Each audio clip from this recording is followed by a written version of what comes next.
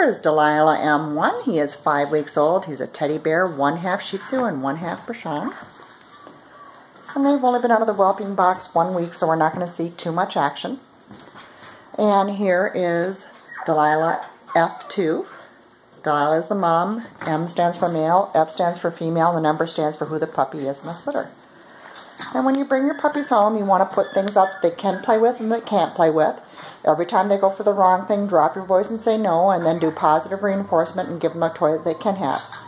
Also, we found it very helpful to have a baby monitor or some type of security camera hooked up to your smartphone so if they're crying in the middle of the night, you can just look and if they have their head up and crying and they have all their needs met, such as water, food, proper place to go to the bathroom, and toys, then you just let them cry it out.